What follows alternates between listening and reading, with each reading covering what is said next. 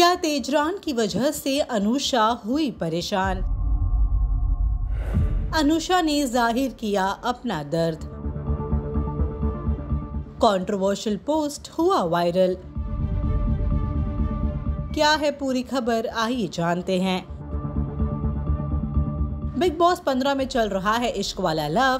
तेजरान का रोमांस हो या उनके बीच की नोकझोंक? फैंस इस जोड़ी पर बेशुमार प्यार बरसा रहे हैं। ये कहना भी बिल्कुल गलत नहीं होगा कि बिग बॉस 15 की हाईलाइट है करण और तेजू। अब जहाँ करण की इतनी चर्चा हो रही है, ऐसे में करण की एक्स गर्लफ्रेंड अनुषा भी आए दिन अपने पोस्ट की वजह से सुर्खियों में है। अनुषा के पोस्ट काफ़ी कंट्रोवर्शियल सरकास्टिक तो कभी टॉन्टिंग वाले होते हैं। और अब एक बार फिर अनुषा ने एक पोस्ट शेयर किया है, जिसमें उन्होंने लिखा, मेरी मॉम ने मुझसे एक बार कहा था, ध्यान रखना, जो तुम एक महिला के बारे में सुनो। रूमर्स उसी आदमी से आता है जो उसे हासिल नहीं कर सकता, या तो उस औरत से जो उसका मुकाबला नहीं कर सकती।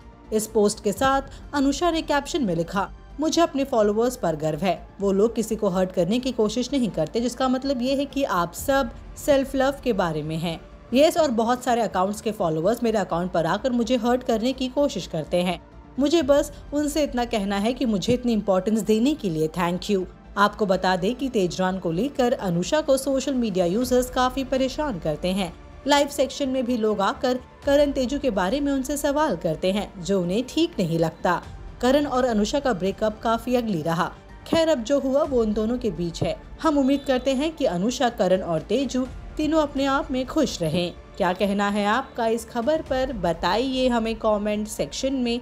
And also do like follow and subscribe to Telly Masala on Facebook, Instagram, and YouTube.